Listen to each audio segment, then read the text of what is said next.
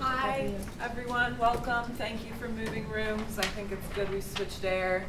Um, because it's 1:15, I think most of you heard the introduction. This is Dr. Olga Scrivner, a research scientist at the Cyber Infrastructure for Network Science Center, School of Informatics, Computing and Engineering at Indiana University, faculty fellow at the Center of Excellence for Women in Technology, and a corporate faculty in data analytics at Harrisburg University of Science and Technology.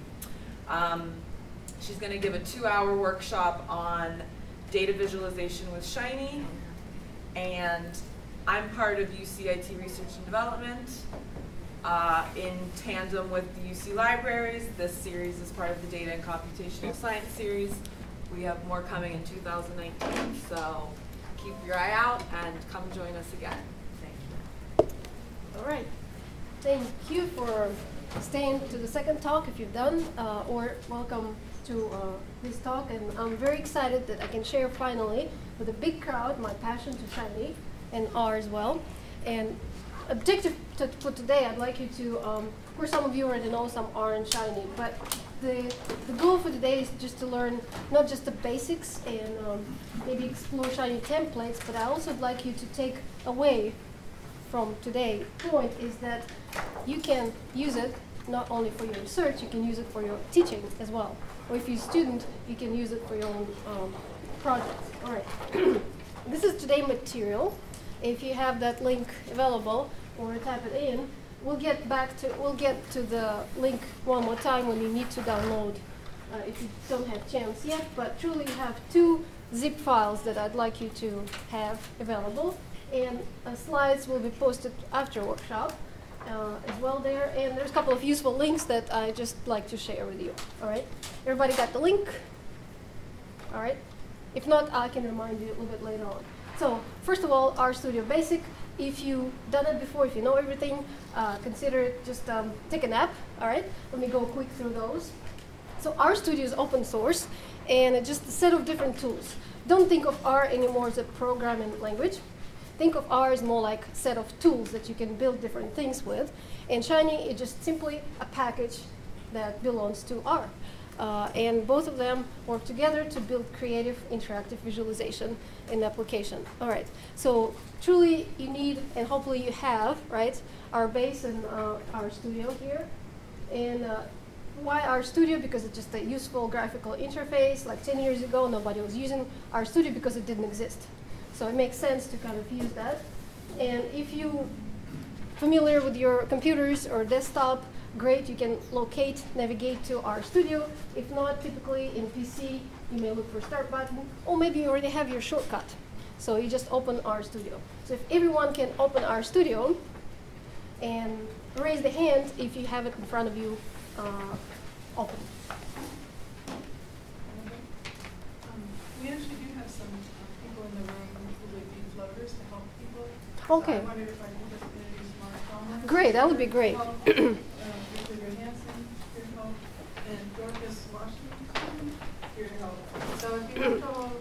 and either Olga or one of Excellent. Excellent, because I was going to volunteer somebody else, but excellent. All right.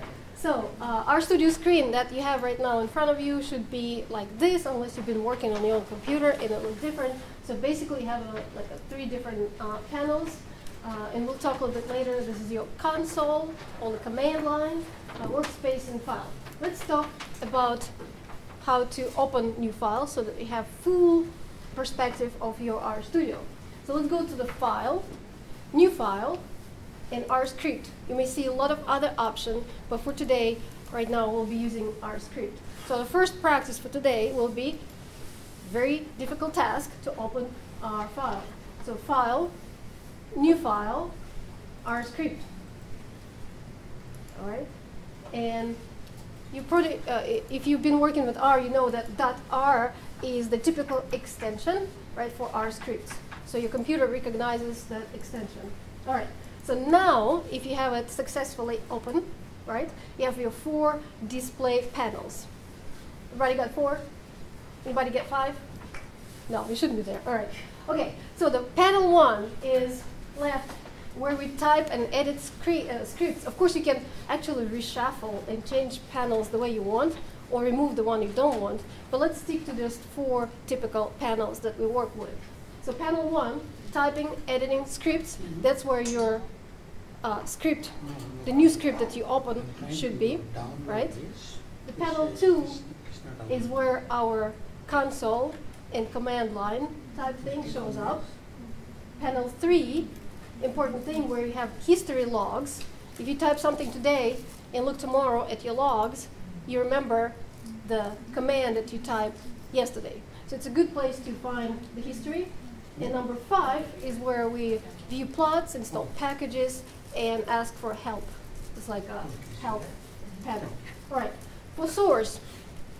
So if you all focus your attention on the left top panel, right? So this is our scripting or editing part.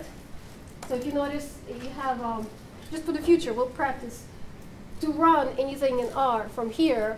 Uh, do you like running, by the way? Anybody here like running, jogging? So it's easy for you to remember. To run command in R, you click run. All right? Okay, so this is your run button, and it's on the top left panel. All right. Let's move to the console, which now focus your attention to the left bottom. That's where things show up when you start running your script. It should be blank right now. Right. The, now shift your attention to the right panel, the very top. That's where your history and also environment. So if you load something into R memory, it shows up there. If you work specifically and strictly with the console part, which by the way, which corner of the RStudio? Left, bottom. All right. If you type something there, command will be executed, but it will not stay in the memory. So it will not be showing up. So you can do it if you just calculate something. But if you need to really save in the memory, run, uh, use a script and um, other things. All right, so this is an environment. And let's shift your attention to the bottom right. Uh, extremely useful panel because it allows you install different libraries, view your plots, and cry for help if you need. So this is a special help um, option that allow you to read about different things in R. All right. So let's look at libraries. So in our bottom right panel, we have something that's called packages. So treat package as a library, all right? And that's where you probably can see 10 or 20 different uh, library installed. They came by default. However, and we'll see Shiny, it's a library that you need to install, and I'll show you how. To um, also, it allows you to see what's been active or not active. So think of R as a tool with a lot of options. And it doesn't want to turn everything on unless you ask for it. So for instance, here you can practice and click on and off to activate, deactivate package. Just select one random package and click on that uh, little square uh, option. Deactivate and activate. And you'll see that it's been active or uh, deactivated. So that's how you can do it and use this for, um, for your current session. Tomorrow you don't need this package, so for instance, you don't need to install it. All right, for um, another important thing before we jump into Shiny is to set up working directory because R needs to know where your files are or where to put the files that you create, for instance. And let's practice um, setting up directory. But for that, I would ask you to create a folder for today workshop and put those uh, zip files in it. Maybe name something Shiny Workshop. So you can use desktop if you'd like. So create a folder in desktop, for instance. Name it Workshop. Put all your zip files in it. Then, when you're done with creating folder, you're going to point R to this specific folder. So what you do is you will go to session, set working directory, choose directory, and please choose the fo folder that you just created. And that's how R will know exactly where the files are. And if you have any questions, we have three uh, bright volunteers here walking and looking for your uh, hand.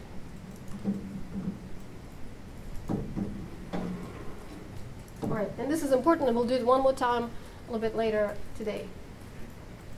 All right, are you successful setting up directory? Yes, no, and you also have those zip files in that directory? All right. Do they need to be compressed? Can they be extracted? You will extract that. You can, um, yeah, I will ask to extract. Okay, because I kind of just did that. Yeah. Is that bad? Yeah. No, no, it's it's fine. Yeah. And uh, if you done with this task, feel free to go in and zip those files, because I forgot to mention, you could uh, you unzip those files. All right. Are we ready? Okay. So the last thing we'll look at uh, with respect to R uh, configuration is we need to know how to open and save files. And again, this is basic for those who uh, already know. Uh, just let uh, other learn it. So we'll open file, so file, for instance, open file. And you already have one file open, right? What you need is to save it. So to save that file, use the same file panel, go to save, and it will ask you to name this untitled .r that you have right now. Name it maybe um, script one, workshop one. Don't forget .r signify it's R script. Don't forget to do that. So after it's saved, now tell me where that file is dropped when it's saved.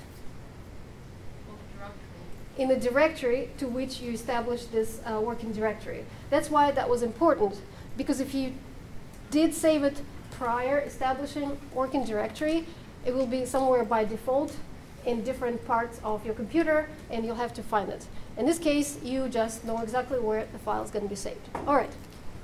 So this is a portion where I'm okay. you open save files. All right. Good. And feel free to raise your hand if it's too fast or too slow, or um, you can't hear me, or you just want to throw a tomato at me, or I don't know. just uh, joking. All right. How do you feel about R basic? You good to go? Check mark. All right. Let's talk about Shiny basic. All right. Let me uh, describe you the framework, what Shiny is and how it works. So first of all, you all sit in front of your computer, right? And you have your um, RStudio somewhere here installed, right? You don't have Shiny package yet, but you will eventually. So whatever you create here, as far as application, will get deployed to the server, or it could be local, or it could be server uh, online that anyone can access. And when you do that, actually what's interesting is it becomes your URL interactive, and that's why it's called web application. It's literally application sitting in a web browser. But what's interesting about it, the usage of this application is unique per unique user who access this application. Let's say, uh, what's your name? Car. Car? Yeah. Okay, so let's say Car create application for machine learning, all right? And he share uh, that application with everybody here. And in that application, you, for instance, select different features, maybe uh, different input files and output files. But guess what? Everyone have different uh, look because it works on your individual browser. So car will not see what you're doing with this application. You'll be working as like your tool in your own browser, even though it's online. It's kind of a very neat uh, feature. You can have multiple collaborators working the same application using different um, input data, for instance. All right. So this is how it works. It goes to the server, it goes to the browser, which is user interface. And if you know HTML, uh, and if you know JavaScript, for instance, you can make beautiful, very um, amazing application in the future. So if you came with a background with HTML, don't you know move it away. It's going to be useful for this type of application as well. And if you JavaScript developer, hey, you're going to be uh, most wanted person in uh, maybe in, in two maybe one year. By the way, Shiny developer it's becoming very relevant and a lot of new job postings require uh, skills as a Shiny developer, for instance. So anyway, okay, um, this is just examples that I, to give you a little bit of uh, inspiration that I provided also in, um, in uh, language variation WordPress with the links. So feel free to uh, explore when you have chance. For instance, a gallery those uh, selected templates or selected application by RStudio. So they're very beautiful and very, um, I would say, useful, uh, developed by other people. Show Me Shiny, it's more individual collection if you have something to share. Uh, you have links to the GitHub. This is a good way to, if you're starting building your own application, to look for inspiration and also to look for code to use or see, learn how to build it. So it's a very useful place to start uh, because somebody else may have built already the same type of application that you can see how it's built, maybe modify for your own needs. All right. And interactive dashboard, I really like this example because it shows you, it's almost like a web page, website for uh, tourism, government tourism, I already forgot where, but uh, yep, uh, okay. And it gives you all the statistic metrics you need, but it's also a website. So it's kind of neat. So you can build different, different uh, well-designed application as well. All right. Now let's install Shiny. Remember, it's a package. So we have to focus back to our bottom uh, right portion. And this time we need to install Shiny. So to do so, we go to install. We're going to select install. And when we select install, we see the window pops up. And we start typing Shiny, all small letters. When you start typing, sometimes you have um, um, suggestions. Feel free to select. Or just type Shiny. And while you're typing it, I'm going to explain. Uh, on the top, you have installed from repository CRAN. This is a typical traditional uh, bucket of all the official packages that RStudio um, distribute.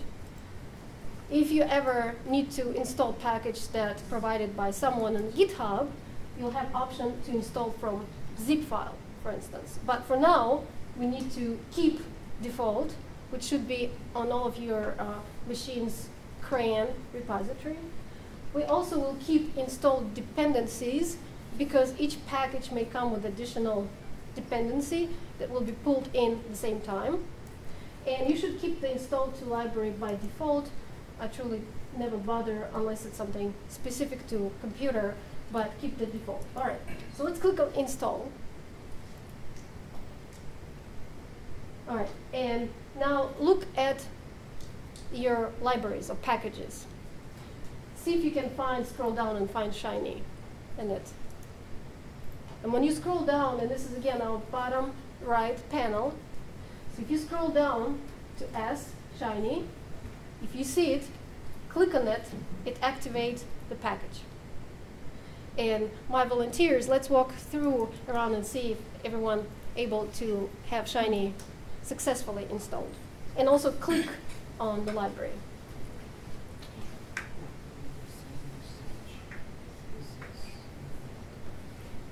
And me meanwhile, you can scroll down and see what other libraries or packages you have actually installed in uh, by default.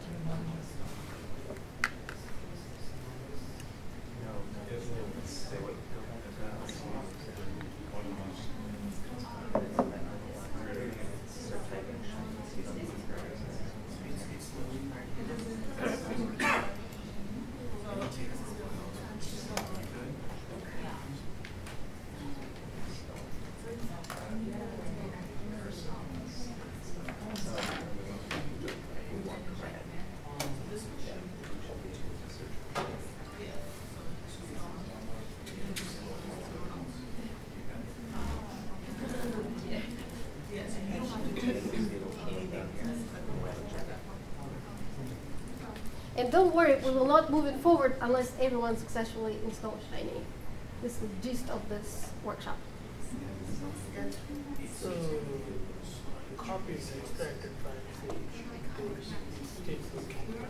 So, when you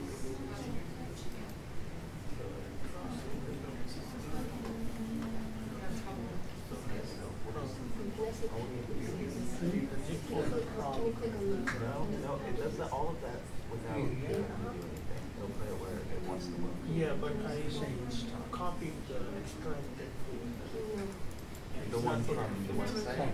Okay, so that's a separate thing, we don't need to worry about that for installing the package. So for installing the package, we go back to RStudio. Yep, we're gonna install. Type in Shiny.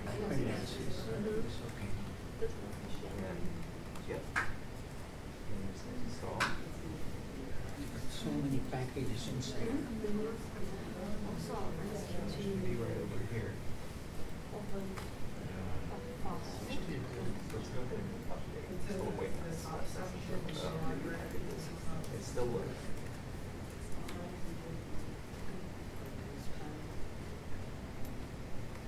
Yeah, I can see that you had. Yeah. So, Did you, did you change the install? no, so what happened Even if it's loading a little bit is we'll get back to it, make sure it's fixed. All right, let's, uh, those of you, and, and here I'll ask for your um, collaboration.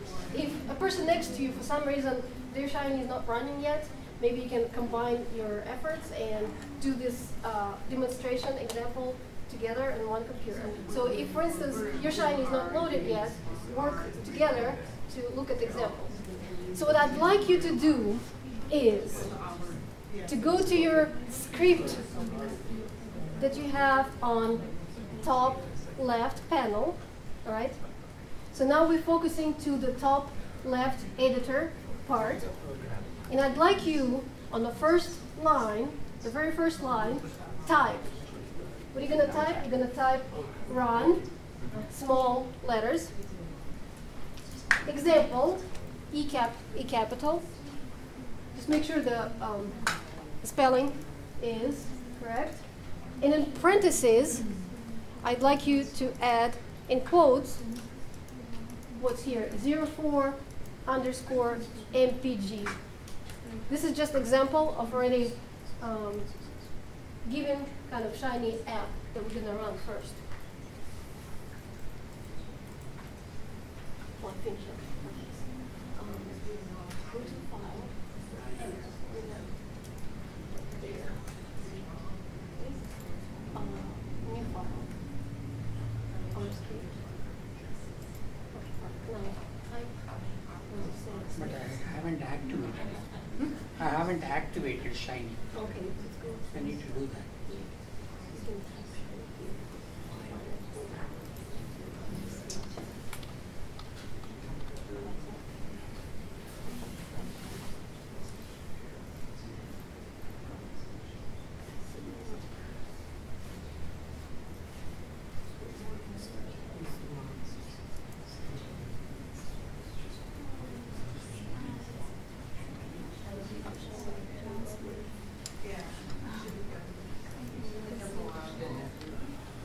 When you run example, um, make sure now, do you remember how to activate and deactivate library?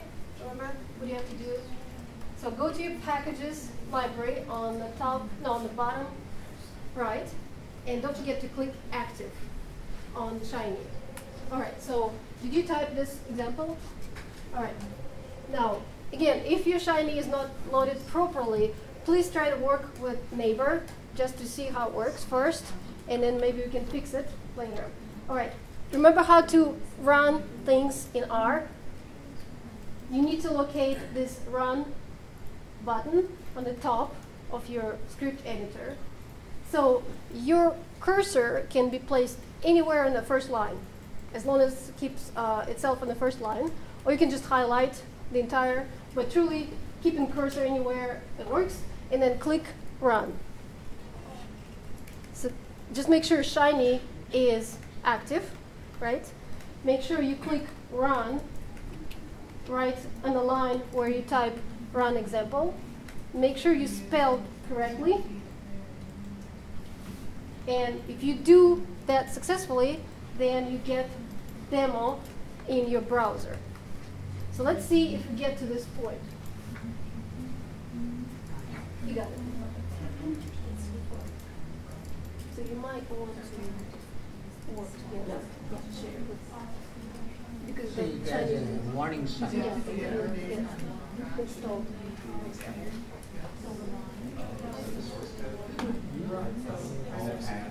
Yeah, you already running the exam.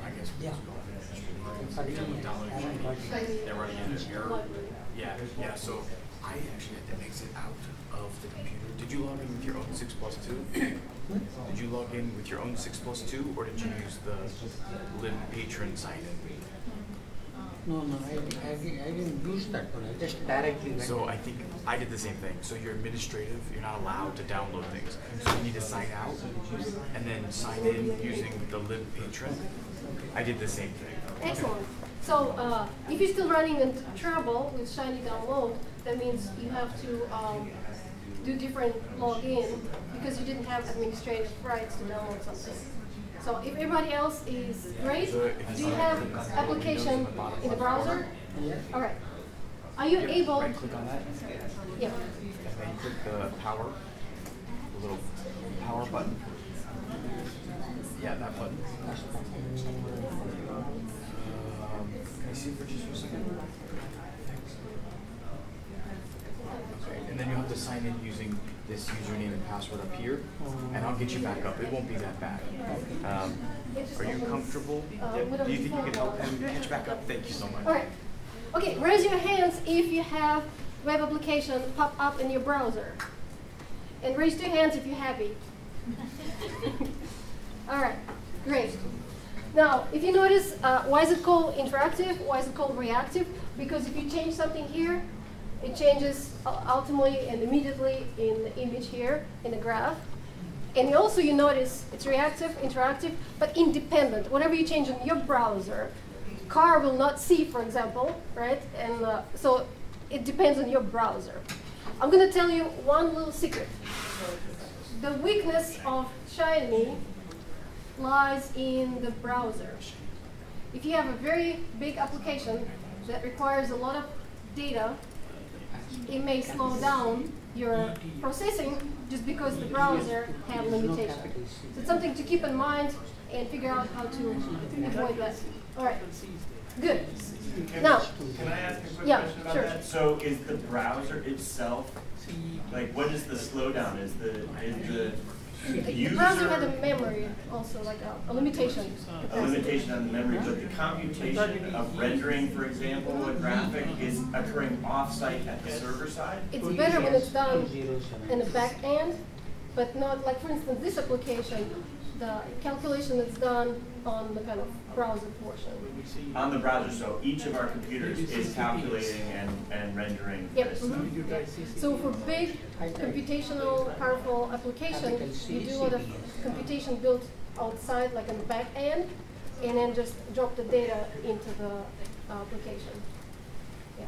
But otherwise, you'll notice if you do some kind of topic modeling, uh, if you have a lot, it's gonna be slow because it's not built for that. It's a good question, yeah, all right. Good. So maybe you can Now, how to it. stop Okay. applications? Let's say you're tired of it. So there's, if you notice, a stop sign. So click on that stop sign. When you click on that stop sign, look what is happening in your browser. It should be turning gray. I mean, it's not active. All right? So that's something to keep in mind. I- If it turned gray, it means you have to start application again. So make sure you know where the stop button is, and that's in the left uh, bottom corner in your console. So navigate, locate the stop button, and stop uh, application. Then look at the browser, and it should turn gray.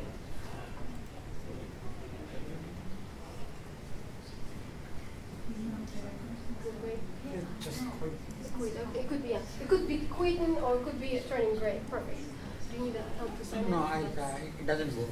It doesn't work. Uh, Because I I already talked to him. Uh-huh. He said it's an administration shop. So I can't use it. How can we-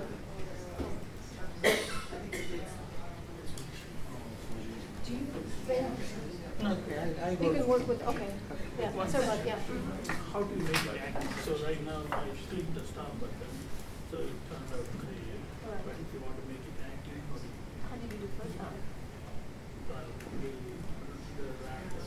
the so I left an example. An example and then right. press the. What line? Yeah. So the first. First line, is where? Yeah, I'm trying to do second time. Yeah. Put your cursor now right. Okay.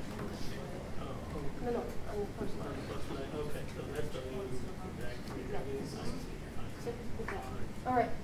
So if you um, accidentally make some new lines in your script and you want to run your application again, make sure to run something.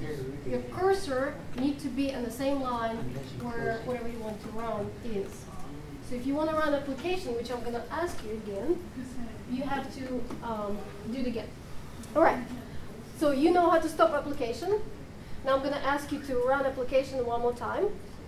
And I'm going to show you a couple of things uh, behind the web application. All right. So run this application again. Get to your browser with the application.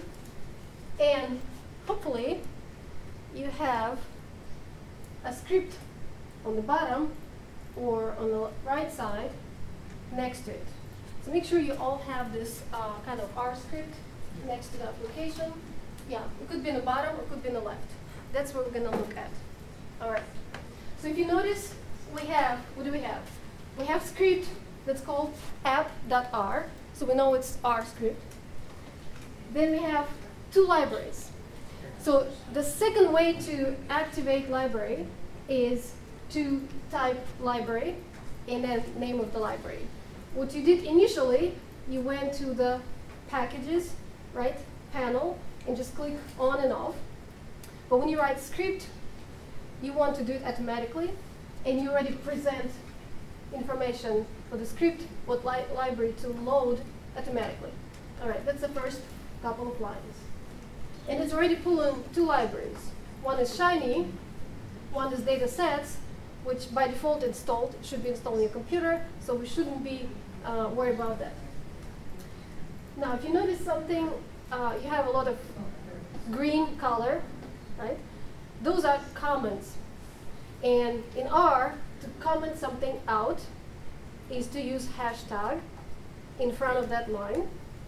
So all this, if you notice, have hashtags, and those things that do, not get processed by the computer. This is where you put all your documentation or comments, personal comments. All right. So this is first part. Now, let's all focus on the graphic, which is our box plots. I'm going to ask you first personally, can you spot outlier on this graph? Do you see outlier? How many? How many outliers? One, and it's right there, right? Okay. Uh, stay focused for a second. Uh, we are going to scroll down. Uh, the script is a little bit long, so scroll down to the very end of the script, to the end where it says create shiny app. Just scroll down and wait. I'll show you how reactivity works. Okay, so we all need to go to the bottom of the script. Make sure, uh, of course, if you look in, you can total on and off this show below or show on the bottom or show up. So I don't know which way it works better for you. Okay, are we there at the bottom of the script? Yes? All right. Now, I will ask you, like at the magician show right now, you will focusing your attention at this portion where it says render plot. All right? Focus your attention on that part. Now, look at the left upper corner of the app where it says outlier and has a little um, box to it. So it's something like uh, below uh, variable. Okay, do you see that option, outlier? Okay, now before you do anything, okay, keep your focus on this box and click outlier on and off. You should be able to see yellow color pops up on your script when you click outlier on and off. What it is, it's reactive script. It shows where all the uh, work is done. So try to play again and make sure you focus on this uh, render plot. I don't know, do you see that color uh, highlight? So if you don't see it, maybe you have to scroll down. I'm sure it's all over the you might want to uh,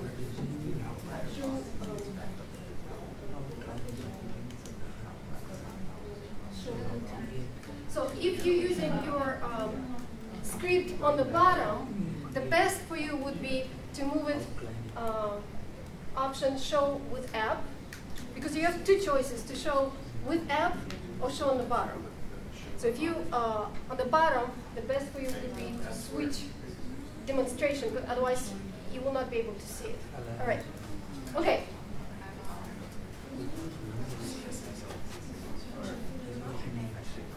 Now, reactivity, let's look what's happening here because it's like a magic. All right. So we have outlier, right? So we have a variable that's called input dollar sign outliers. So based on this input, we get it colored and put different um, uh, shape on it. That's, a, that's all it does. Now, what about formula text? This is the box plot. This is the formula. So get changed as well. Let's try something else.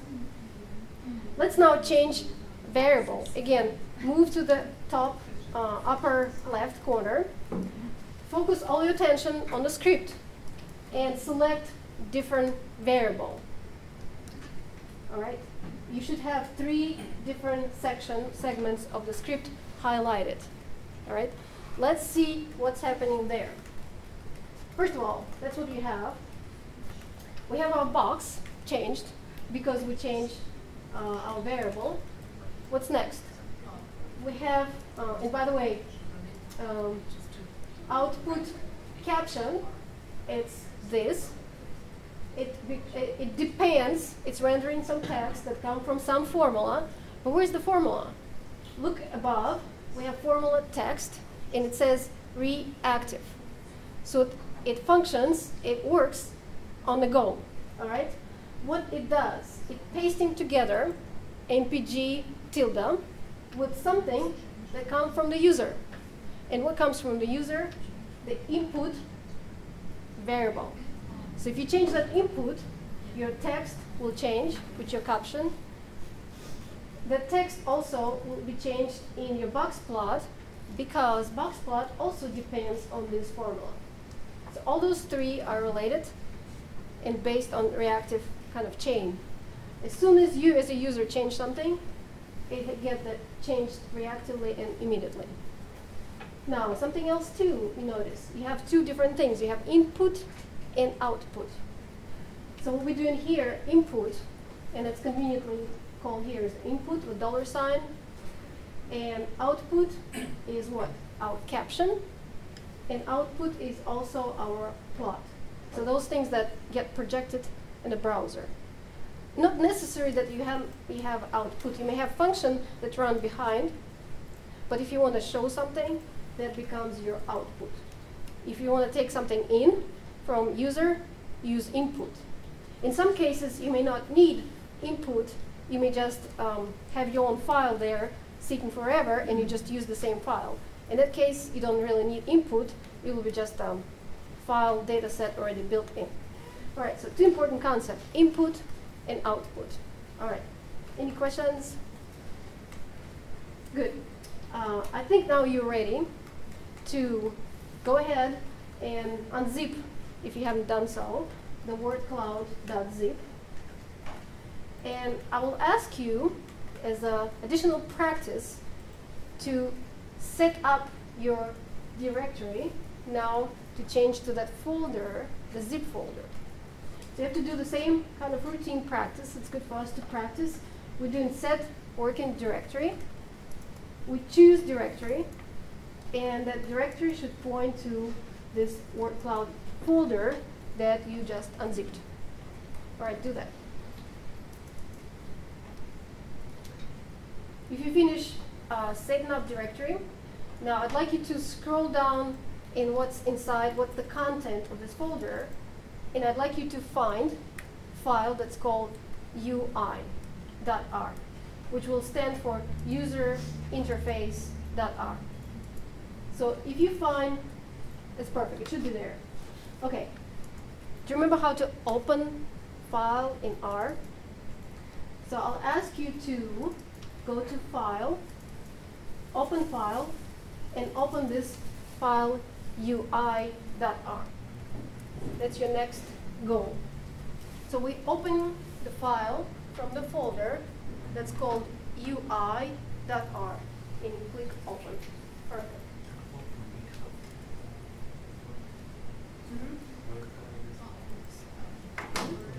Where does take the material for today and uh, for uh, class.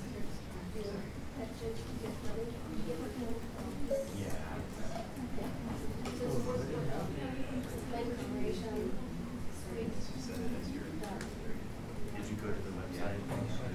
Two parts of thirty. Here,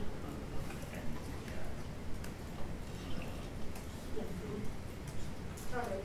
Any other issues, concerns? Okay, so if you're able to open file, then you should see something like this. And let me know, uh, what do you see as a huge change in your running option? What does it say? It says run app. So if you have that option, you're golden, you have everything installed you need, and R is working properly. That's what it should. It recognizes that now your R script is turned into shiny kind of app. So that's important to uh, understand the difference. Now, before you click on Run App, I'm going to tell you a couple of things. You can run application locally in our window, which will be basically what uh, your right bottom panel is, kind of small little window. You can run app as a um, our viewer pane. It's like additional pane, and some of you probably seen it. Um, it's like a mini browser. Or you can run it externally, which goes to your default browser. So whatever default browser in those computers, that's where it goes. Usually, browser version is better. It's larger than those mini panes. And I'd like you to click on Run App little arrow menu and select Run External. That will give us option to send our application to the browser. Right. So select that. After you select Run External, then run your app. Then click Run Your App. And then I'll work around to see and make sure also that you have that.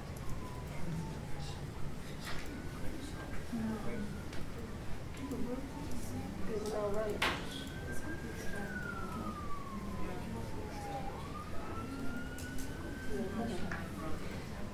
If uh, you're missing some packages, uh, it's a good error. So if somebody is missing something and it says TM, then you need to download uh, install package. So let's do the practice again. Go to package, called TM, install TM package. Then rerun your app.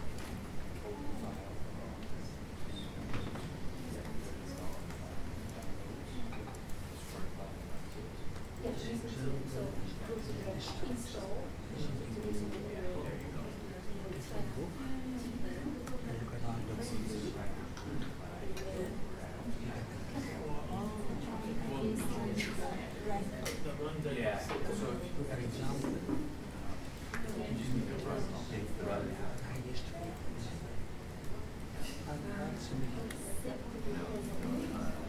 so it's good practice to recognize different errors. You might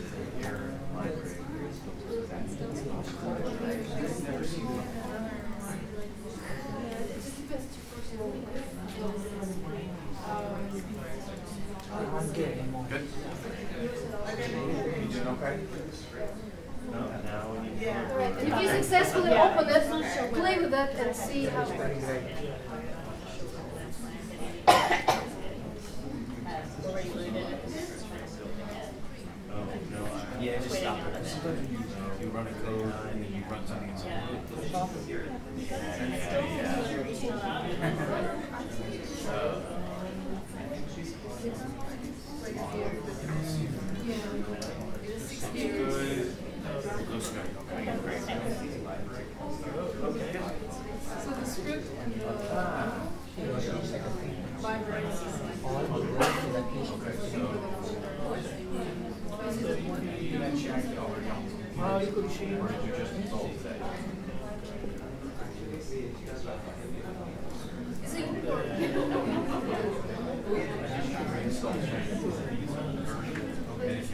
also put maximum. Whereas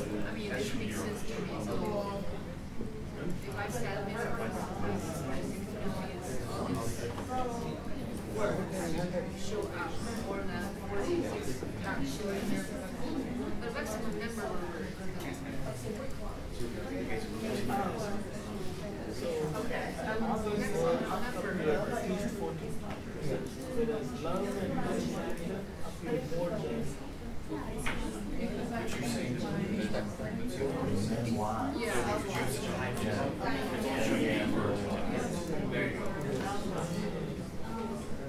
But still, it'll show the gradation between frequency, maybe that means that that's the part of the code that's being, okay. lowest number of frequencies compared to. I said yes, three hundred. What are the other books available?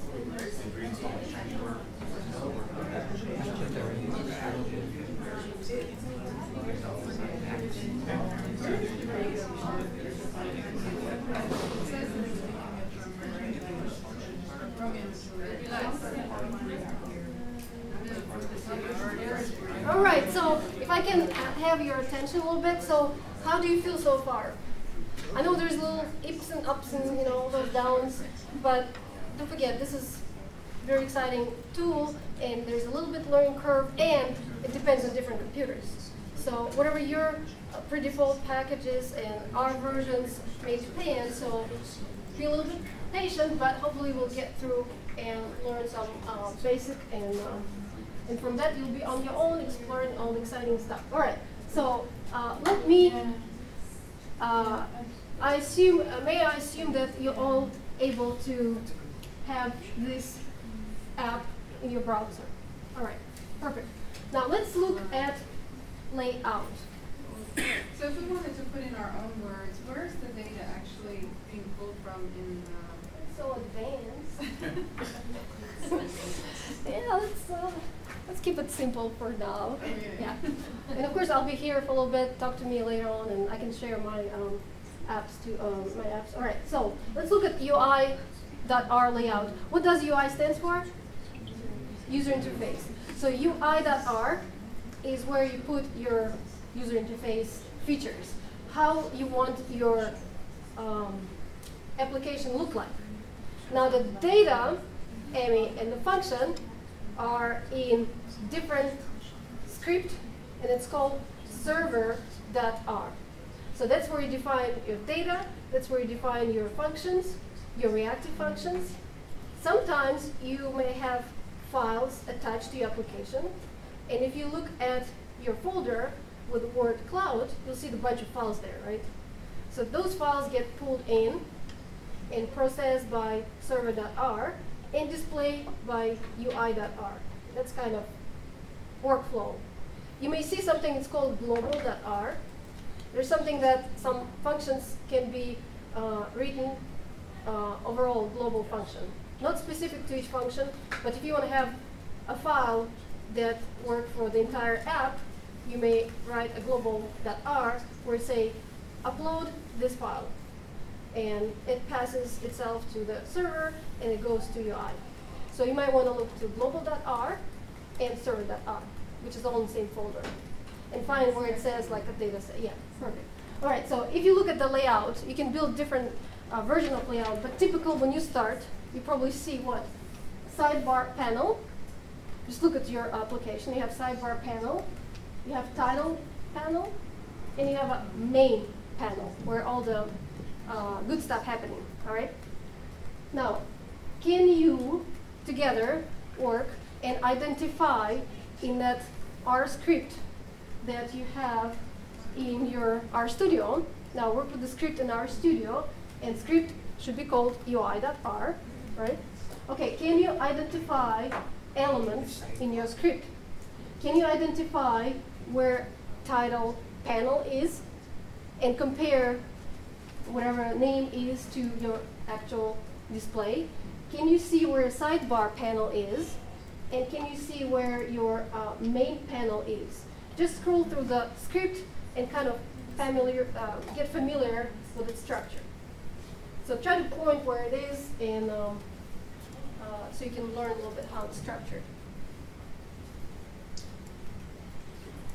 All right, let's look at our color uh, definitions, and it's sometimes important. So we have three different colors, you probably noticed in the scripts. the characters, which is our basically words here, are in quotes, and they green. It's good for the future debugging. If you have a string of characters and it's not showing green, it means you're missing quotes. So you see here, for instance, choose a book, choose a book character, it has to be in quotes, and it's green, perfect. Now we have some numbers here, and what color a number is? Everybody see it? It's blue. And the black color typically are functions, and comments, also green, but they have hashtag. All right. So how do you feel about reading script? You feel better. All right. Great. Now let's uh, question. Yeah, so you've got you've got a couple of, of things. You've got selection and you've got choose a book. And selection is an actual option from possible things that our select input could be, right? Whereas Right. choose a book is the text that titles that Mhm. area. Choose a book It's What, the what are the other, what's the easiest way to see what the other options are other than selection? Is this in the, in the Shiny documentation, Yeah. or is this gonna auto prompt this in We'll look at, it's called widgets. It's called shiny widgets, and there's different widgets. And you notice, here it says select input. So they may have different widgets, select um, radio button, or select different types. And they will all have always, and we'll talk about selection, it's what you give a name to. It's like your ID. As a matter of fact, uh, it's good to have it right now. Then I'm going to repeat it like in 15 slides, so you kind of re, um, re-emphasize what we're talking. So selection, it's what you call this specific uh, placeholder. It's your ID. How can you find the user selection? You name it selection. So anywhere in the script, if you want to use their selection, you will have to uh, use the word selection. It will be like input dollar sign selection. There will be ID to this selection. Choose a book, it's what they call value. In this case, it means actually what you, what they see, basically. It could be anything, and really it doesn't matter what you write here. What's really matter is the first ID, and you have to remember what you call it in this case. Now, in this select input widget, because it just provides you um, specific like templates, widget templates, this select input has additional option. The option for you would be whether you want already something to be there when the user start application. Sometimes you want to just a blank. In this case, they want you to already have one choice made. And it's probably made somewhere in the server.r. You don't have to worry about it. But as soon as you know, user changes, it changes reactively. But if you notice here, it says choices equals books, right? So somewhere in the server.r, or maybe in global.r, it will define what books means. And you can It- define your own. It is a package. Mhm. Books is a package. Mm-mm. Books is just uh, one of the, um, you could say, if you knew the name of, um, you know, this is the word cloud of like a three different um, books, Books. like Romeo and Juliet and something else. So you could define, so when you start application first, which book was selected? The first one. The, the first one, whatever. So somewhere in the script, let's not talk like to, into detail and find it, somewhere in the script, it's defined what has to be selected. But this is not package. This is data set, actually. Mm-hmm. Is books uh, a, a variable you defined before? It was defined before. This is defined by, don't forget, this application already built in, and somebody already defined what books is. When you build your own application, you can skip this option choices, or you can say, my choice is gonna be what exactly? Meaning, the- which the- book? Text. Yeah, which book? Yeah, exactly, yeah. So then you have um, slider input, there's another widget. And each widget had its own options, right? In slider input, for instance, what is the ID name? Can you find it? It's the very first value, or very first, it says freq for frequency. So this is going to be your ID. That in the future, if you need to use it, then you have to refer to this input by input uh, dollar sign freq. It gives you whatever the user put in. Right now, by default, it was the choice of person who created app. You have minimum selected, maximum selected, this is defined, and the value is selected. So you could left it blank, nothing would be selected, but in this case, it's already selected. So the point to take from this actually is that when you build your uh, design of your web application, you can decide what's the first thing that users see.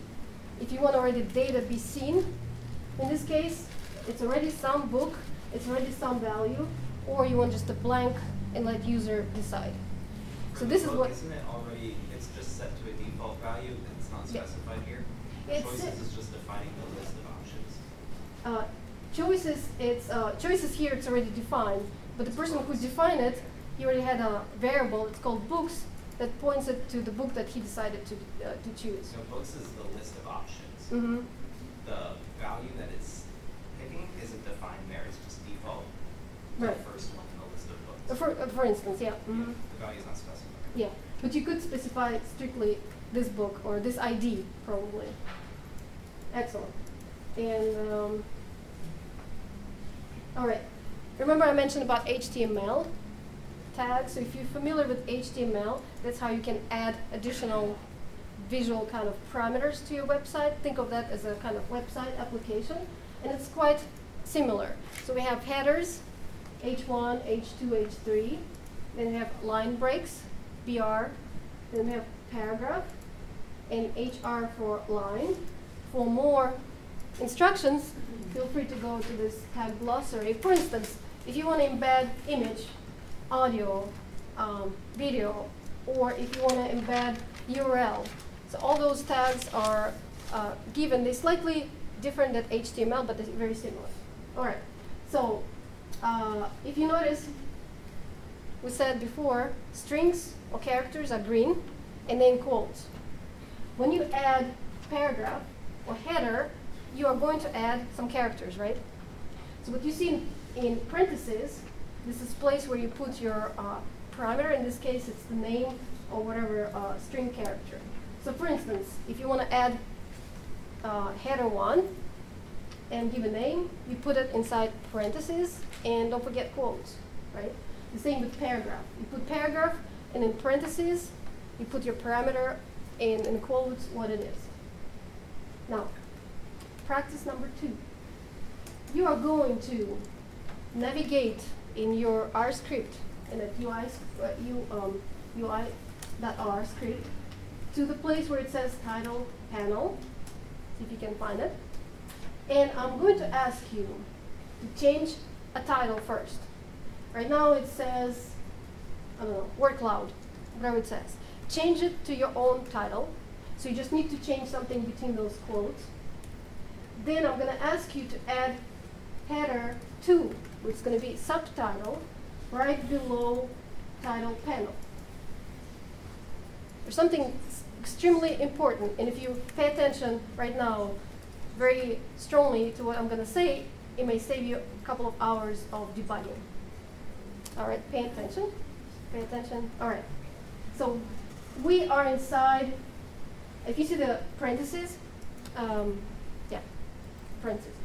It's going to be another parenthesis somewhere to close it. So we open something and we close it. What's inside are options, right? We can add more options or just one option. What's extremely important, and everybody forgets that myself as well, we need to separate those options with comma, except the last option, right before the parentheses. And what it does, it just separates different options. It's considered the list of different things. So when you start adding new things now inside your page, consider it's like your page, you need to add comma between them. This is extremely important and it's usually headache if you don't uh, pay attention because then you have to find it where it is. Okay, so you are going to add subtitle, you're going to add line break, and you're going to add horizontal line, you're going to save your file, and you're going to run your app. And don't forget commas. Okay, there's your practice number two. Pay attention to commas.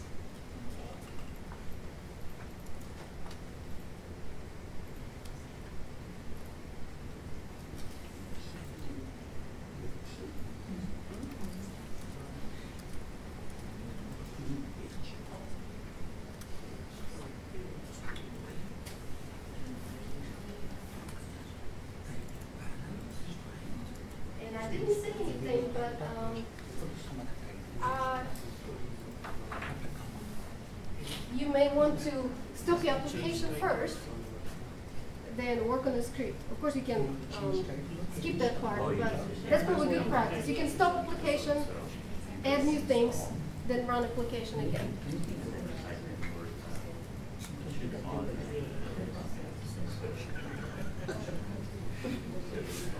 Then you have a H two. Maybe quotes.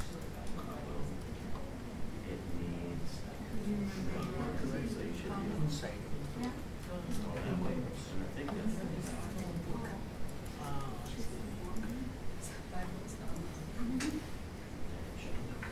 I know it's. Hello? We've done this in the past. Uh, not in the browser, but in, so if you close that first tab, Line break. um, if you go over here, on the app, What do you want? drop that What do you down, want? she's at. Nothing to do with it. Yeah. Like that. Don't you think he is black? So you know exactly what to do. And I think it's a little easier to like this and this code. And then you hold it to-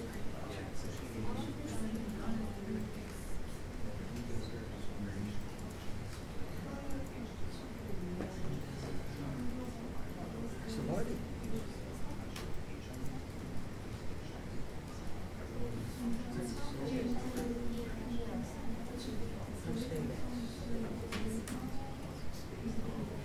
Save is fine. Um, already have saved. Then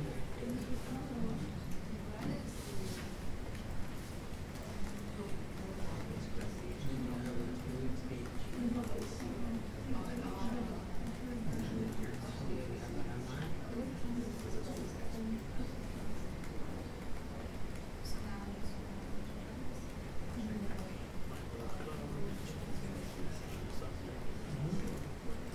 That's all we changed.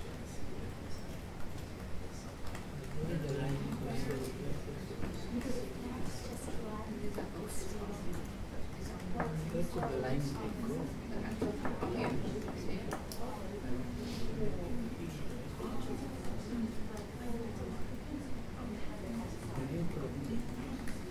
Not see the effect of line.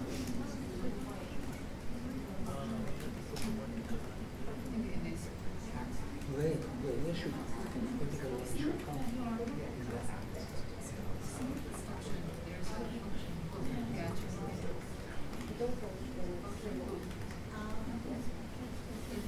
Something. Within the parentheses. All right, how do you feel about it? So I'm getting very uh, strong about Shiny, so we can navigate and change scripts now. All right, I'm going to ask you to do uh, another practice now to work with title um, with the main panel. Please navigate to where it says main panel. And I'd like you to look what it says. That's from what you see. You have tag a some href, href that doesn't really work. But I'd like you to comment it out. You don't need this click here link. So what you have to do is you will comment out this link. Then you will add a paragraph, anything you'd like. At the beginning, remember when you comment something out, place hashtag at the beginning of the line. And truly, uh, all you have to worry about, don't forget commas and run it again. So in this case, we work with the main panel. We learn how to comment things out and how to add paragraphs. Those paragraphs get very handy when you build the application. It tells uh, user what to do or describe what to do.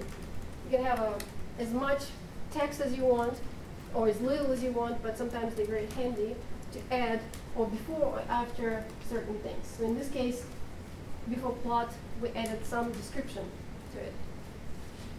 And then if you can uh, save file and run the app again.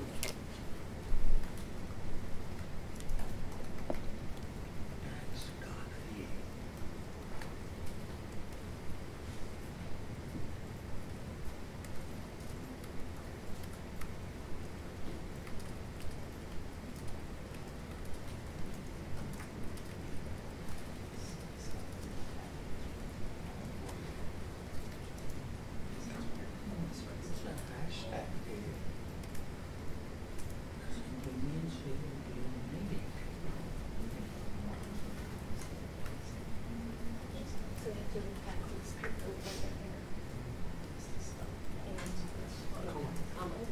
That's a-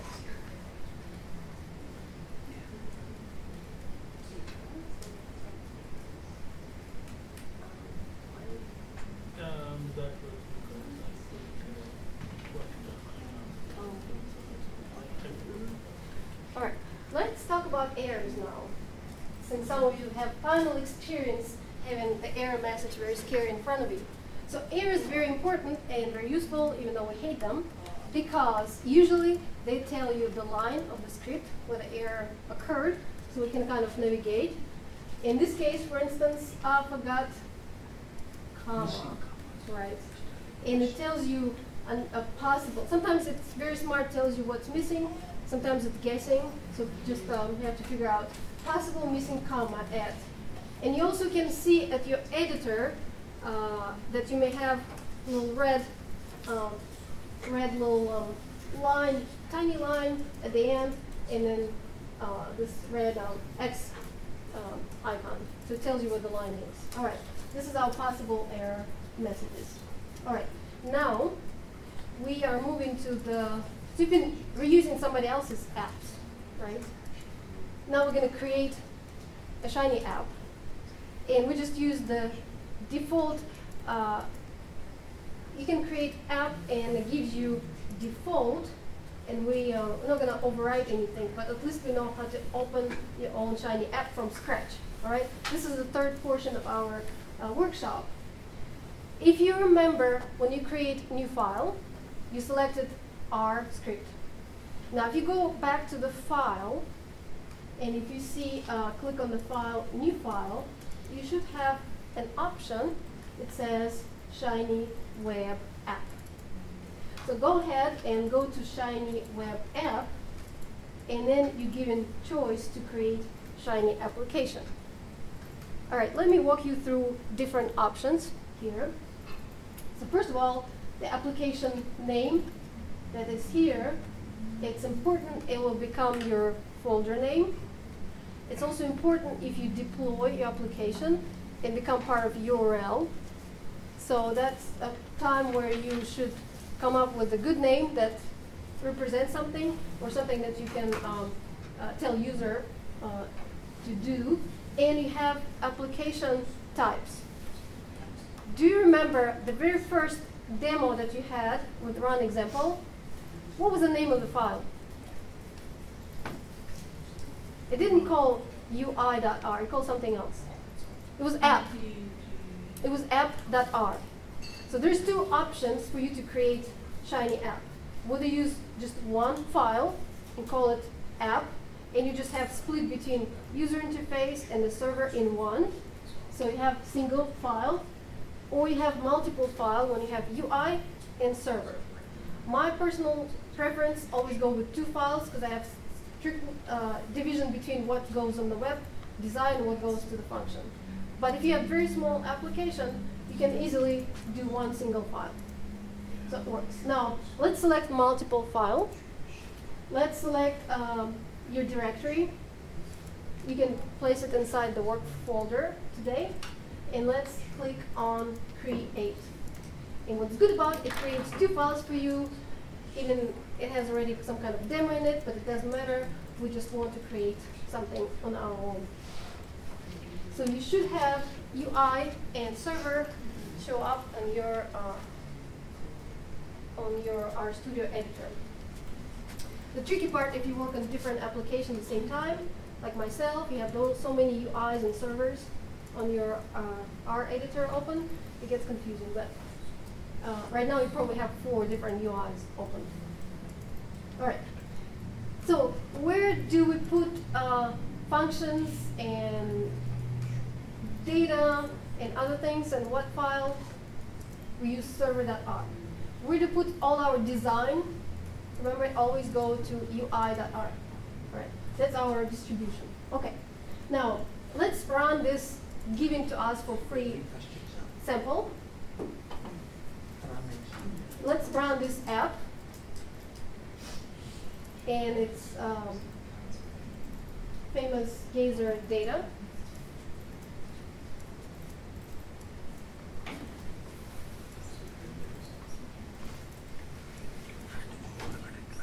All right, okay, yeah. I enjoy. Okay, thank you.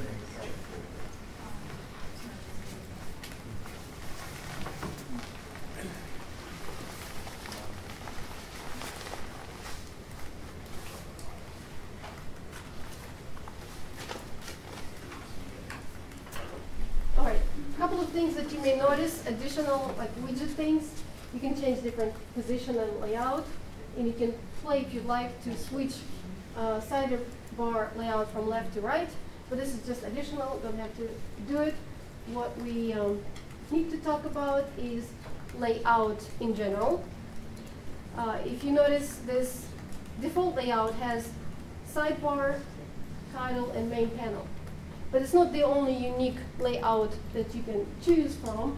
And I have um, a good example, this is a good article that allow you to see different variation, different layout. For instance, you have different like columns. Uh, think of website.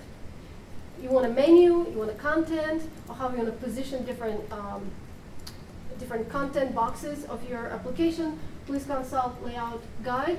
They provide those chunks of code that allow you to uh, kind of customize your application. It's very uh, useful thing to do. All right, like for instance, this is default. This is tab set layout um, uh, much better looking, and you can add different functions, for instance. Okay. Widgets. We're all eager to talk about widgets because they give us a lot of uh, options. And if you look at widgets, they're important because they are user interaction with our application. So again, if your application does not require user, you don't need to have those input widgets. But if they do, then uh, you can consult uh, different types. So you can have buttons. You can have single checkbox, for instance, uh, date input, uh, help, um, see, file input. That's where you ask user to upload something. Then you can have radio buttons. You've seen slider input. Can have text input. For instance, if you're working on surveys, you can build your survey as well and collect data that way. Just collect text input and uh, a variety of options. And I suggest you later on, uh, after today, maybe look through a couple of tutorials because they give you those little blocks of code that you can just paste and copy and you modify maybe how many buttons you want or how you would like to name your uh, widget, basically. All right. We already noticed, and we talked earlier, that widgets have different options. If you remember slider input widget have minimum, maximum, and value. Uh, for instance, what else we had? Um, select button or select book. It has value of choice, right? So they all have additional options, select or value. And you can place them pretty much anywhere in the sidebar or main panel where you want to draw attention to your uh, data. Okay. As we speak earlier, we have ID, which is extremely important to your widget, and we have a label. And label is what, that's what it's seen on the display. That's what the user see. It's kind of a red flag. Here, user, insert your text or do your selection. All right. Now, this is example of file input. I have file and file input. So which one is ID or name, and which one is the label that goes to display? So which one is ID? File. Mm -hmm. And label, file input. That's what users see, but we never use it anywhere else. We use only file when we want to connect input with our data kind of and output. All right, this is important. Get it? Check mark? Perfect. All right. Uh, I'd like you to now look, run your app, uh, and look at the script and identify a couple of those widget elements right now in your script. So can you identify a couple of your widgets and how they relate to your app? I just ask a quick question about IDs. Yeah. So you're you're naming something, right? And you'll name it somewhere else in your code. Mhm. So It's like a variable. it's a variable. It is variable. Okay, and so you're just saying with quotes, this variable I've named elsewhere is Right. going to be Mhm. the Use- ID. Yeah, use quotes Okay. here because you kind of, you put it, use it as a character first. Yeah, so you stay away from things that are already named in the R environment, right? This is not a separate environment, so something like F, capital F or capital T, you should avoid as IDs because No, you'll overwrite true or false.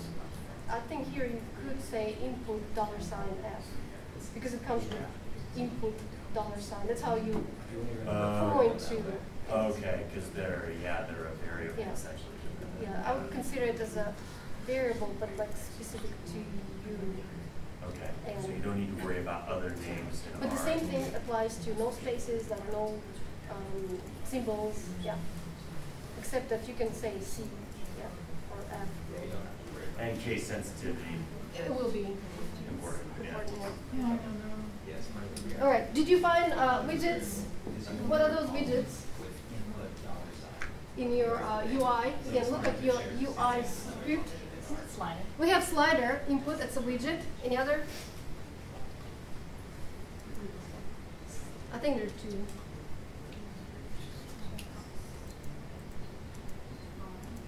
And slider and uh, whatever the, the- yeah, so that would be a, um,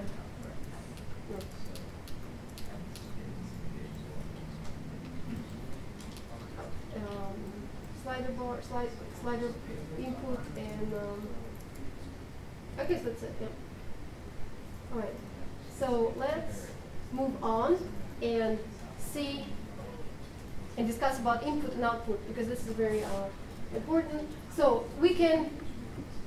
What's the name of widget to input files? Input uh, file input. However, how do we know what file to a user will input? So we can restrict, and let's say, of course, we can tell the user, um, uh, upload CSV file or upload text file or PDF file. So we could we would say um, or choose or upload file so we can modify this part. But how do we know that actually user is doing the right job? So we can actually specify, and this is another um, option that we can impose on user. We can specify what files are accepted, for instance, whether it's a JPEG or whether it's a text plain, etc. So this is for us to um, use and show user. Now, if you um, still learning R, this is a good place to stop for, uh, for a second and remind ourselves. So why do we have all those things in quotes? These are our strings, right? But now, what does this C stands for? Anybody knows what that C uh, function in R? It's like concatenation. We have sort of, I would say, easy to remember kind of list of things together, right? So we uh, putting things together, combining even better, combining those two, and we're separating by comma. If we only need one, we don't need the C, we just have quotes and text plain, for instance. But if you have several elements you want to put together, in R you would use C in parentheses, and then you separate them with comma. All right, good. Now, let's look at connection between widgets with user, the main part of the um, gist of Shiny reactivity. So we already seen it. We create user input by using input, right? And output is what we display, uh, how we display it, right? Okay. Um, there's different things that you can display based on different things that get uh, input, uh, inputted, I would say. For instance, you can render, that's basically how you display things. That's your output. You can render plot, render text, render table. All those things, and I have a link, it'll, it'll come with a little bit learning curve to figure out what you need. And I would suggest to start with something simple. That's why using those templates is best way to learn because you first you read and get familiar with how it's done and uh, become proficient in it. Then you start adding your own elements and change little by little to kind of modify your app. For instance, um, render image.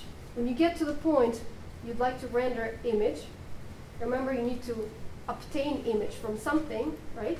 Then you have to look at what option for input are. Um, so how do you input uh, image from user, for instance? So those things are, just think when you build your application, plan strategically. What you're going to ask for input, what you're going to ask, or how you're going to output, or what kind of things you're going to output uh, in display. And consult, I'm constantly look for different, um, so RStudio has a lot of articles, like helpful articles, and if you just Google certain things like output or render plot, it gives you all the details and parameters you need, and you can use those little block, uh, code blocks, and just paste and copy and start with that, so you can later on modify it. So that's probably the best way to do it. Now, if you look at reactivity input, if you, from today, just remember this page, this slide, it's excellent. Uh, this is the most important thing to see how it's structured, how Shiny works. All right, so first of all, we have reactive function. And um, uh, now if you notice, I'm switching from UI, which is just display, to functions. Remember where a function goes? Goes to server.r.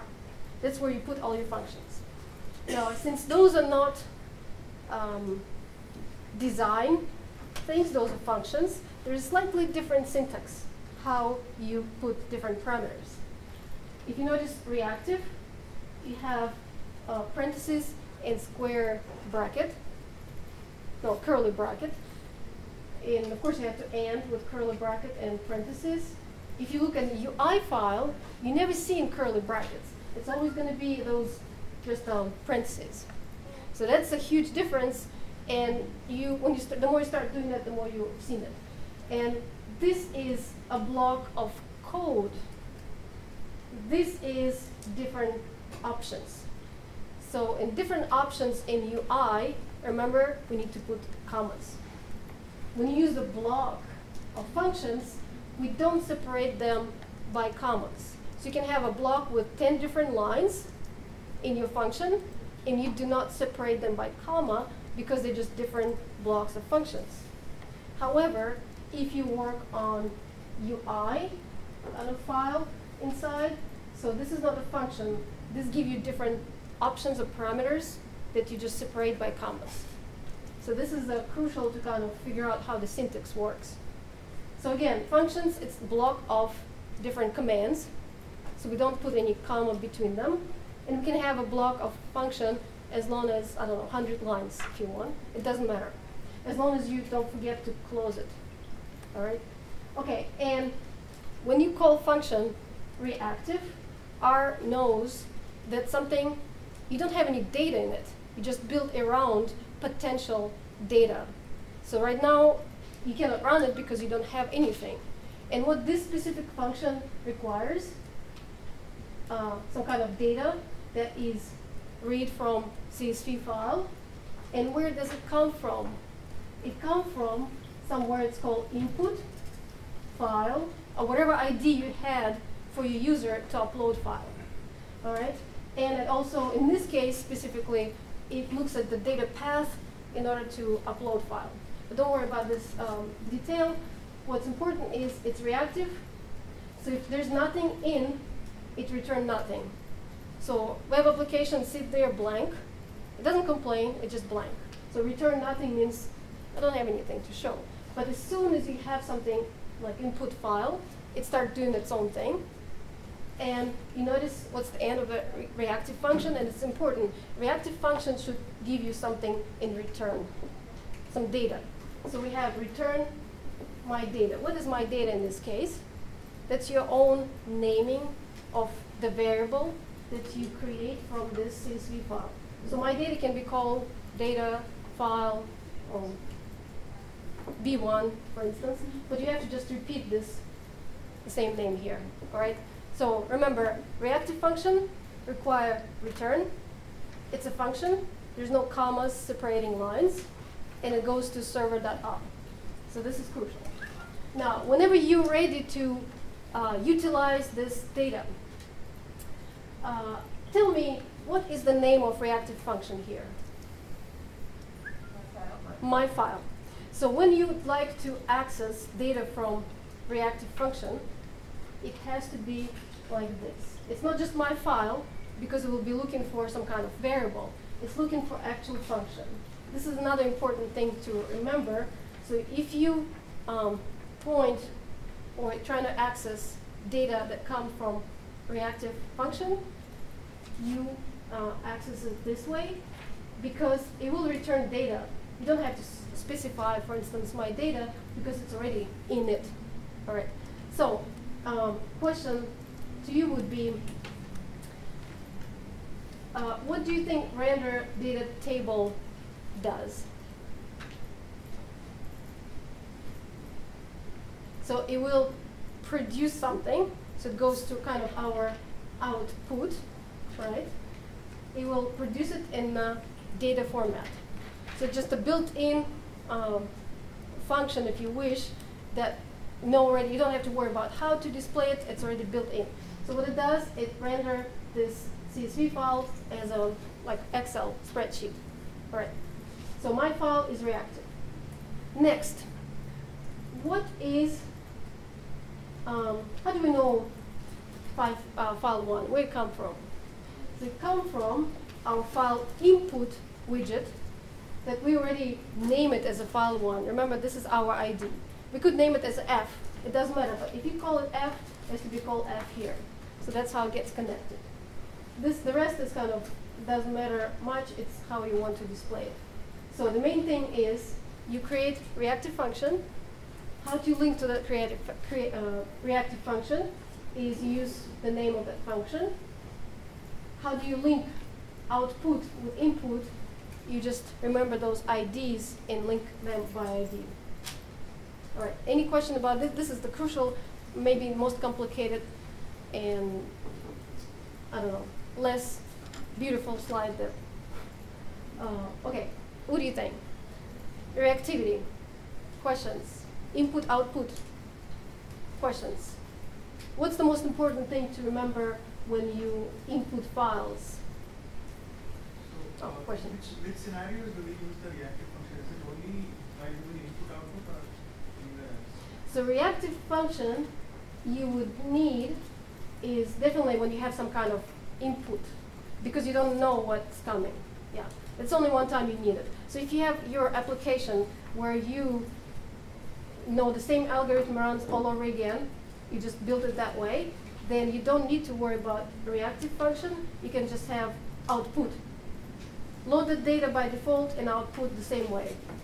But as soon as you want to change something, think of statistical application, and I can share with you at the end, where um, you have a, you load a comma separate file, and you build regression analysis, and you teach your students how to run regression analysis. So the students select their own variables to run different analysis. So it becomes input. Or you can build this application for a class with already built-in factors, and it is same all the time. In that case, you don't need any reactive function. So yeah, it, it depends. But it's definitely more um, visually engaging when you can click on something, right, and see the changes. As soon as you need to move the slider, then it becomes input. But you may not need reactive function because the data is not changed. So it uh, depends on how you built and what's the purpose of your application. Great question. All right. Um, finally, deployment. So a couple of things uh, you can do. And uh, the best is to, for now, that's what I've been doing. I'm using shinyapps.io, which gives you uh, free access to build five applications only. If you need more, then you have to do with the basic account. I forgot like uh, $400 per year. Then you can build unlimited number of applications. Or if you, let's say if you use different application different time, you don't have to keep them active all the time. You can still keep the range of five free just by changing different applications. Or you can build application that as long as you need just one application with including five applications. I don't know. You can, you can be smart and kind of still keep a free range for yourself if you want. Okay, so if uh, I didn't ask you ahead of time, and uh, you probably can do it later on. If you sign up for this account on Shiny Apps, if you look where your uh, editor right now um, UI application is, right next to Run App, there's a little blue thing, and if you click at the menu, it says Publish Application. So if you click on that Publish Application, it asks you to link your account in shinyapps.io to your application that right now here, and it will deploy for you. And it gives you URL, and you can um, share with the world, basically. And this is how you would add your account, and it will be there every time you deploy something. And of course, you can give a title. You can check what things you want to be shared on the web, um, what things you want to skip, for instance. Uh, you can control, and then you publish. If you go to Shiny app by itself, that's what I do all the time to monitor my apps. I have uh, a lot of them, and I'm just curious to see, you know, how much traffic it gets, you know, is it useful or not. I also can see different metrics. Uh, first of all, if some applications are running right now by someone, like your application, someone can run, right? So it shows you is running or sleeping, or you can archive. It provides you a lot of statistics, which is show you how important your application, for instance, is, or uh, other things. And you can modify um, how much um, memory it uses, and you can maybe optimize something. And something else that Jane may be later on introducing, maybe in the spring, is how to deploy Shiny application of Jetstream. There's the good pros. You're going to have your Shiny app uh, as much work as you need because remember, if you use Shiny app um, from RStudio, you have limitation of how much memory it takes, how much processing power it takes. Here you may have use everything for like running uh, complicated computation, And um, of course, you have help here. And uh, but there's a couple of cons that uh, probably Jane will introduce next semester about seed and um, other things that you may need to take a Linux 101, etc., to kind of get used to it. But it's it's a good opportunity, good uh, alternative as well. All right, and um, I know we're running out of time, but there's a couple of applications I've been using extensively. One for statistic, for instance, and one for text mining. And every time I find some interesting function, I just add to it. And what I do, I instead of running code anymore in R for statistic, I know what I need, so I just go to the application, upload my file, and just run it. I have conditional trees, another random forest, another regression. So to me, it's like I use it in research a lot, and I give my students to use it so they can learn it. And um, I also have a little like mini R code blocks so they can see it. But truly, it's just it's good for me and it's good for teaching as well, kind of both worlds. All right. So thank you so much for your patience. Thanks you for doing all this heavy load of work today. And hopefully you enjoy it, and hopefully uh, we get uh, how many 20 new users or 30 new users of Shiny uh, in the world, right? All right. Thank you so much.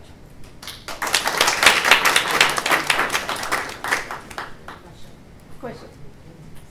Can you embed these into other websites? Yes. Uh, like, for example, a WordPress website, you, You should be able- get a little widget that allows you to embed Shiny apps that into a regular page. I haven't embedded my Shiny into other page. I know I embedded something into Shiny, but I think eh, there's a. Uh, I don't know how to do it because I haven't done it, but absolutely you can embed it. Yeah. And every Shiny function is just HTML code. Right. So it can go into a website. Right. Because it is HTML. It's just, it's just a wrapper. Mm-hmm. In Shiny, you can actually extract it as an embedded HTML and just copy it. Yeah. Doesn't- So when you start um, in spring, the Shiny Initiative group, right? Mhm. So that would be great for everyone to get all those questions and. Yeah, so, so what, um, what Ola just said, we're gonna be starting kind of a users group or a group around Shiny, um, looking at how we can possibly, uh, get funding for a Shiny server at UC, but also to share, uh, resources and share ideas. So there's several other, there's faculty, there's students that are very interested, so we'll be doing that, starting that up in, uh, January, February. I didn't mention on purpose the third option, which would be the greatest option to have, which is Shiny Server. But it's very expensive for the school. But it means also the more demand it comes from the faculty, from research, the more maybe response you'll get. So start using it, start demanding it, and who Mhm. knows, maybe you get the server access to it.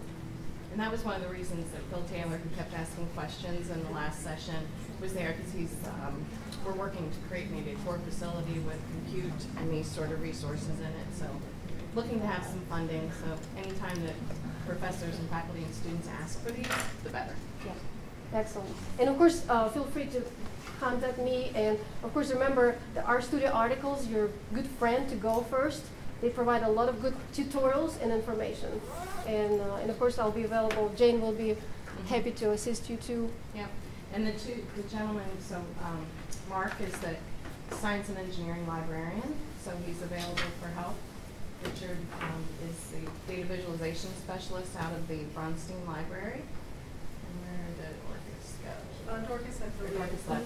Okay, so, so the libraries has, so that, that's, uh, you know, Mark's, And, Mark and would be a please, great if you, resource. yeah, and if you are a user yourself, and you consider like you need some support or just want to be in a group with uh, um, closed mind people. So Richard, initiative is to create our user group at UC. Yeah. So make sure to become part of it, and hopefully it will be shiny user group as well, and, Mhm. and grow. So make sure to give your And not just a. UC, regional, I mean. Yeah, start with UC and then So yeah. if Start you're with, yeah. interested in joining our user group, come see me today so I can at least get your email. Yep, perfect. All right, thank you. All right, thanks.